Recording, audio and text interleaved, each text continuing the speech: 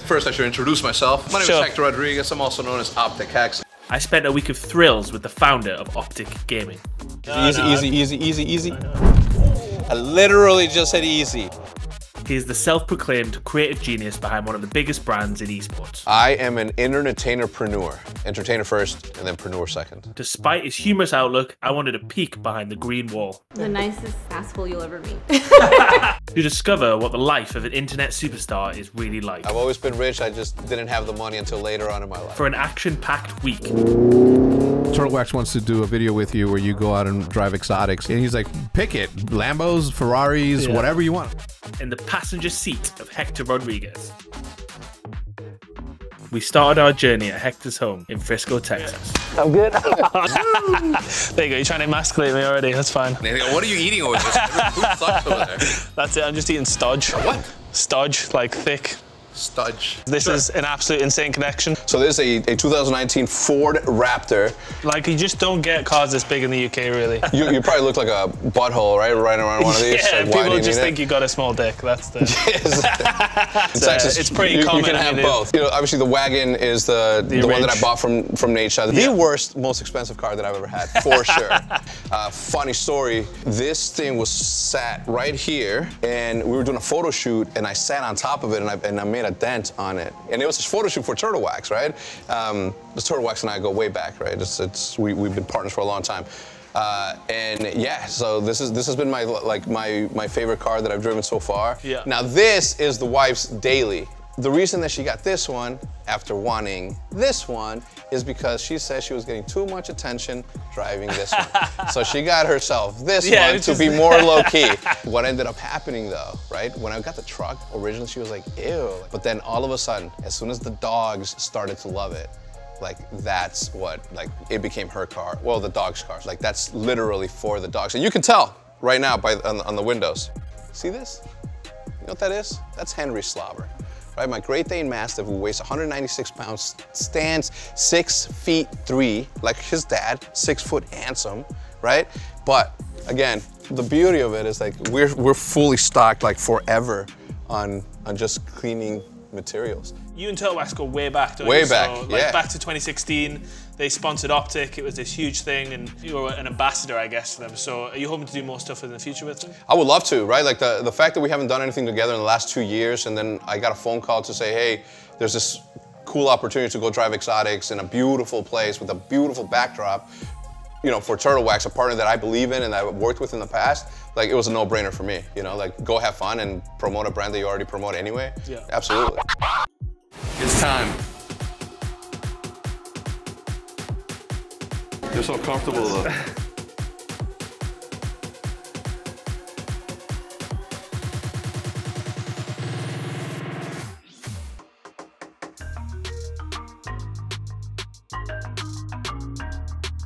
What's your first impression? I've obviously seen like videos and stuff of it, but it's pretty cool to see it in person, though. All right, now like- you grab you grab these uh, these leaves on the side. Yeah. and just like gently, but just enough. Rub it between your your your. Yeah, there you go. Oh wow, yeah. Is that like the oil that comes off? Yeah. Smell that? It looks so good. Okay, how much does something like this cost to set up and run? We got a million buck, million plus in this property. out here. Wow. People thought I was crazy, but I'm like, hey, I get to partner with Pine Park now, so fuck you guys, you know? Amen So- to that. Yeah, bro, that's good. Nice work. So I, I grew up in the 80s in Ciudad Juarez. This is pre-internet, pre-anything that you know today. Uh, and my childhood was fun. And I've always had this personality where I'm very forward, but I'm also like very conscious of, of, uh, of like my surroundings. Uh, I always like to make people laugh, but my childhood was like amazing, man. Like I, I, I don't think that I could trade it for the world. And when you don't have anything, you don't miss it. It never really touched or struck a nerve with me until like I was older and I saw people like with fresh new pair of shoes. And I remember like being like eight or nine years old, a size, not, let's call it a seven to an eight. My dad being a 10 and a half, I would borrow his shoes to have variety. And I think that, that that moment in time, I knew that at some point or another I was going to be going back to that memory and saying, I'm gonna get the shoes that I want today. And this applies to just absolutely everything, not just necessarily shoes. Not, not cheap either. The, the cheapest ones, like no, the the I don't, steak. look, I don't look at that. the steak. Mike, Mike, I don't look at yeah, that. because it's not your card. Do you remember when your parents said we're going to move to America? Do you remember what, like what did that feel like? It was a traumatizing event actually because, uh, and I didn't know it was to traumatize me until later. Uh, one day I'm playing soccer in front of my grandma's house. I'm playing soccer with my cousins, and then I see my dad at the corner of my eye. So I turn to see him, and he's coming up this hill. And I'm like, I'm like, it's not time for him to come home from work. So I run to my dad, and I see that he's got blood, like or like dry blood that he was trying to wipe off coming down the side of his head. And I thought to myself, I'm like, I'm like, oh, what happened? He said, oh, I bumped my head in an air conditioning unit at, at, at work. And I'm like, oh, okay, cool. Didn't think anything of it. Two weeks later, uh, my mom says that we're moving to Chicago, where she has family.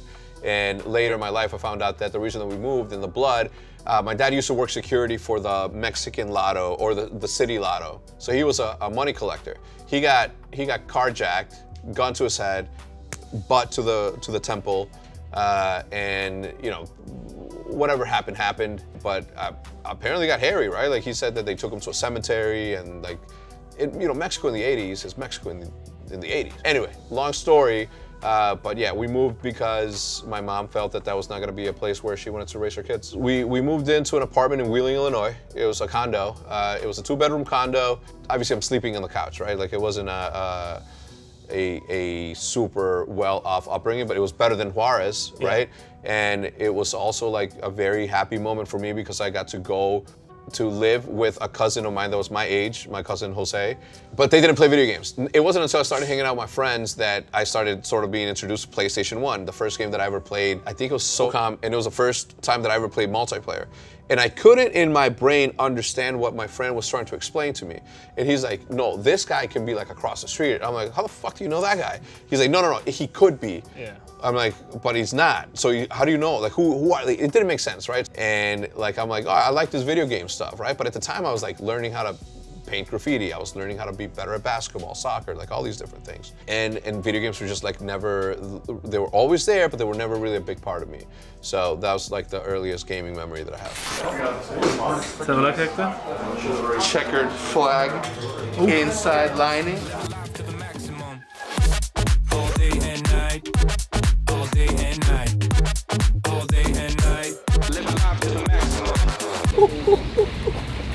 I don't even know where to put it. I think I might wear it as a tie. Turtle Wax has invited us here. We're gonna be heading out in a Ferrari 488. What up, bro? What's up, partner? Welcome, welcome, welcome to my car. This is my car for the day. No one can tell you otherwise. This is mine. We're about to go to lunch, Hector. On the way to lunch, we're gonna follow 40 Lamborghini Countachs. When you're on like a rally like this, do you feel like you've kind of like made it? Yes and no. So I, I feel like I made it from an influencer standpoint. Uh, I would feel if I made it if I was part of the actual ownership group of, of those Yeah. Lambos. But no, I, I, I'm, I'm just excited to be here. I'm, I'm drinking water, dude. Like this. Are you actually drinking water? For, Yeah, the- well, it's, your it's what you drink, actually. Pissy water, what you drink, because you're No gin, because you're, 'cause you're like five years old. I think that one of the biggest responsibilities that we have as people with large following Yeah. is that any single time that a cool opportunity arises, you have to take advantage of it because there are millions of people who would kill to be in the position that you're in. There we go. We are off to the races, baby.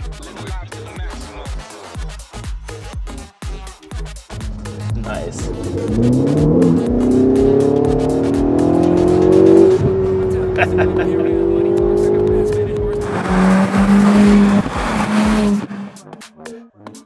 a pig in a stew. I don't give if I'm rude. Let me live my life of bliss in the fast lane. I'ma be on top of the world, watch it happen. I forgot that that's illegal. it was August 14th, 2009. Uh, my wife's pregnant.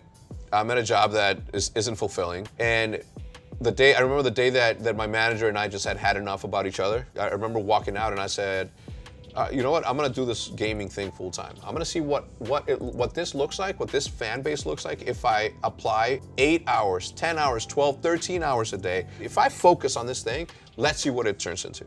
And for a year, I did it, and I would tell Jude, I'm like, hey, this is gonna work out. Like we are gonna get paid. And then she's like, cool, just show me the money. Olivia's born. She goes back to work. I'm taking care of Olivia while you know continues to make my videos while she's down. The first check that I get from Machinima is 16 cents. Immediately when I open and I see it, I'm like, I'm like, oh my god, it's one of those internet scams that I've been warned about. I'm like, how can a 29 year old allow himself to fall for this thing? Next check it was sixteen thousand dollars, and then after that, it gradually just kept getting, getting bigger and bigger and bigger. And you know, I think at the height of of when Optic was doing what we were doing, we were doing close to like, as a network, close to like 65 million views uh, a month. So now we're in the backyard. As a kid, I would have loved to have had something like this. Uh, I grew up in a very humble home. I, I, I wouldn't trade my childhood for anything. As much as I didn't have toys or as much as I didn't have anything, I had a lot of cousins and a lot of friends. Although it was a very humble, you know, sort of background, it did shape me to the man that I am today, right? It makes me appreciate the things that I didn't have then. The same, same thing with my job, right? Like I grew up in corporate America. Having that nine to five and knowing what it's like to have to punch in a code on a phone to go take a piss, like really always terrifies me so much that I do not take anything for granted ever. Obviously, my life is better now that I have money, but I lived without it. I know what it's like to live without it. I know how to make ends meet. We've done it before without any any money at all, living paycheck to paycheck during the mortgage bubble, mortgage crisis, the housing market crashing. Like we were, we were both in that industry, and we had to give up both of our cars. We had to foreclose on our first home, which was a townhouse. So we've we've hit rock bottom before, and we've been fine because we have family and we have each other. When you think of Hector, like what what are some of the qualities you think of? Sexy. He's a wild card. Um, you know, one day he's just busy and he's always happy and just, Yeah, just busy and crazy. he's always I don't around. know how to describe him. Am I allowed to say what I always say you are? Yeah. The nicest asshole you'll ever meet. Look at these bombers, man. Right? The finesse that it takes to roll the perfect little bomber. Look at this fatty right here. You want some? Yeah, yeah. Of course. Let's wait till the rotation, Mikey. We are, well, fuck you. It's like wine. When I first started drinking wine, everything, everything tasted the same. But then little by little, you sort of start to understand like the different flavor pro- profiles as you should with this peanut butter souffle. It tastes like cake batter almost. Definitely tastes like smoother than the other one. Yeah. That's the other fun part about launching a, a, a, a cannabis brand is that you obviously have to do your own research and development. Right? That's so fun because you And actually it's get your to- work as well, you know. Yeah, it's work. Yeah, Right. it's so important, yeah. I've, I've always said it. My my dream since I started doing gaming was to continue to make my hobbies jobbies. That way, I can continue to do the things that I love without feeling guilty Yeah. of the fact that I might not be working, you know, or that my time could be better used, you know, Yeah. somewhere else. I have two choices for you: Yeah, English breakfast, yeah. American breakfast. What's the difference? Just pick, I don't know. You decide. English? You're the influencer. or you should have the English one. Yeah. Okay. See, I just influenced you. That's how good I am. Welcome to the Garage Mahal. The reason that I got this garage was because I, I told myself one day that I was gonna own a boat, a bass boat. I love bass fishing. I'm gonna show you guys the upstairs now, which is probably my favorite part. Beautiful. You can't say bootyful as I'm walking up the stairs and you're staring at my ass. beautiful. I said beautiful. Yeah, so this is my man cave away from home. One thing everyone likes to see inside the fridge. So Boom. There's something for everyone. You want Mexican Coke? There's Mexican Coke in there with real sugar. Truly. We have the Trulies for the millennials. We have uh, the Coronas and the Heinekens for the hip hop heads out there in the 90s. And of course, obviously, the H2O. you are so you are such a man. My London folk out there. So what are your plans for this place next? Like, is it gonna are you gonna keep this space? Are you gonna go to a bigger space? Like, what's what's next for the Garage Mahal? Yeah, look, be, because of what's happened in my life and the way it's happened, right? Like, I, I didn't come from money early on, and I never imagined that I'd be in the position that I'm in. I never thought that video games would lead me to where it's at. Like, I, I, I had hope that it would, Yeah. and I saw the vision that it could. What it took to get there was the intangible that obviously nobody can control. Uh, so since then, I've, I, I just don't make plans. I know that I want to be in Texas. I know, I know that I want to be in Frisco, whether it's in the house that I live now, whether it's in this garage, or whether we buy property and make a bigger world. Welcome to the Hex Quarters. Imagine walking into someone's brain through their earlobe. It's a packed house. The players compete, practice, and also the content creators, right? They create their content, they stream from here. At any one time, you can have a total of like six people uh, doing their job. The chill area, also seven The years of hard work. All the trophies. Which is uh, which is your favorite? My favorite is the first one right here, 2011 Orlando. Wow. This is where we were. This is the first uh, championship that Optic won. It's uh, it's, it's I love it. It's my favorite. Uh, the majority of these are all Call of Duty championships. We have over 35 uh, championships. And to give you an idea, right, there are millions and millions of dollars at stake when they compete, right? There's a $3 million tournament uh, right here. There's a trophy, but there was always like a $3 million tournament 300,000, 400,000, 500,000, 250, 350. You sort of start gathering like the amount of money that can be made if you are in the upper tier of uh, competitive gaming. And this is uh, the desk, right? This is the Oh, famous, the Optic the Show. famous Optic Show, Optic Podcast uh, desk. We we bought this to. What, where did you get the inspiration for this desk, or was it just something you? Somebody created it for us, and uh, I bought it, and it's uh, it's fire. Like it's it's done so much for for Is the it on content. wheels as well? It's on wheels, yeah. It usually, I mean, you, you know where it's at. It's Oh yeah, of course, over there. This is a coffee table that I myself made out of uh, regular tables. Uh, that's my camera guy, Matt. Matt, wave. And that is the, the full tour. Small place, right, when you compare it to other esports organizations, but I can guarantee you that there's maybe only two organizations that do more viewership out of their facility than they do out of my facility, Yeah. right? We also have something we want to show as well, which people don't really see much. It's the corporate side. Yeah, the corporate side, The yeah. corporate side to a business. So let's quickly check that out because it's kind of it's Sure. It's such a cool contrast. So this actually used to be like one big open floor. We put up this wall to separate the corporate side, the corporate side of, uh, of what we do. Like I say, compared to the hex quarters itself, this Yeah. is the this definitely has more of a corporate feel to it. Yeah, and because it's so corporate, this is what you'll get to see only, just the lobby. One thing here is pretty cool. Yeah. If we can show this, is the different companies that are involved. So I don't know if you want to talk through any of them. But made by influence, like they made, made our apparel, Guggen Squad, as I just talked about, Good Good Golf. Um, and then Alfreton Town FC, that's our, that's our football club that we invested in. And what do you look for when you're trying to find the, the next company for you to either advise on or invest in? I back the people more than anything else. It's something that someone has always taught me. Like uh, every single person that I ever talked to says, you know, we're investing in Hector, not necessarily Optic. It makes me work harder when I know that I'm working for a team that I'm a part of instead of for someone, which would never happen. Hector, you're leaving the sanctuary. I am leaving the sanctuary. I'm gonna leave a gift as I always do when I depart. Yeah, you're gonna leave Toucan. Enjoy. Right here. Boom. Just in case, I don't know if he smokes or doesn't. It doesn't matter to me. Uh, I'm just trying to do me. You know, be a kind human being, share the wealth, all that. Yeah, yeah. Modest hex. Back at that again. Look, uh, someone's got to do it. all right, let's go. See you later, boys.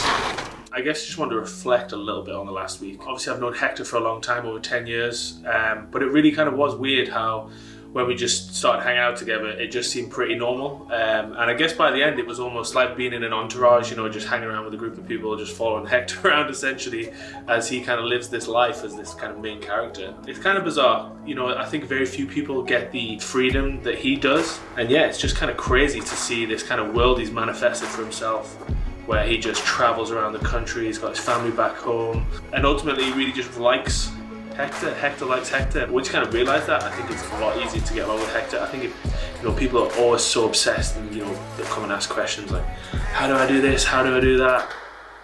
There's no answer. I think it's just you just have to be yourself, and Hector is being himself. And people want to see that, and he's having a fucking good time. And I've been able to have a good time with him for the last week because, I mean, who doesn't want to just hang out in Ferraris, smoke weed, travel to nice hotels, hang out at parties. What else is there?